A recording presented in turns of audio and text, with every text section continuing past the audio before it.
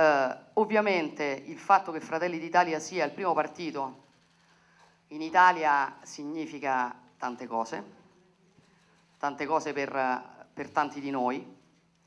Uh, questa è sicuramente per tante persone una notte di orgoglio, è sicuramente una notte di riscatto, è sicuramente una notte diciamo di lacrime, di abbracci, di sogni, di ricordi. È una vittoria che io voglio dedicare a tutte le persone che non ci sono più e che meritavano di vedere questa nottata. Però